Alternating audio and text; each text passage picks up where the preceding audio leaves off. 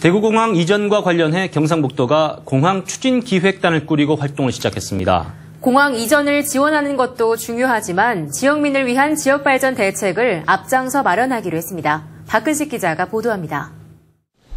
8명의 상근 인원으로 구성된 경상북도 공항추진기획단이 본격적인 업무에 들어갔습니다.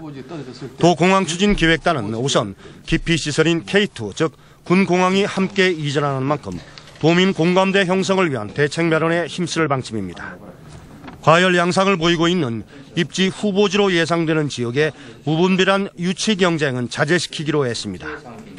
후보지 선정에 따른 관계기관의 업무 지원은 적극 나서되 환경 영향 평가와 각종 인허가 등의 경북 도민들의 의사가 반영될 수 있도록 사전 준비는 서두르기로 했습니다.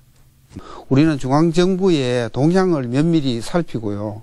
그 다음에 대구시와의 공조체제를 공고히 하는 게 우선적인 업무입니다.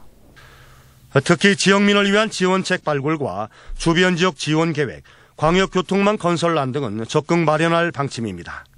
다만 참가 여부를 놓고 논란을 빚은 정부의 공항 통합 이전 테스크포스 회의는 당분간 관망하기로 했습니다. 이전 비용을 놓고 정부와 대구시가 이견을 보이는 데다 이전 후보지에 대한 윤곽조차 없는 상태에서 별다른 실익이 없다는 판단입니다. 공항 이전은 대구 경북권역의 오래된 수건 사업입니다.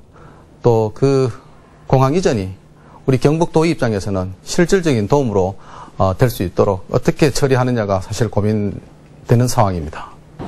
유력한 이전지인 군이 소부면 주민들의 반발은 갈수록 거세지고 있고 이제는 공항 유치에 선뜻 나서는 시군도 없는 만큼 도공항 추진 기획단의 행보에 관심이 쏠리고 있습니다. MBC 뉴스 박현식입니다.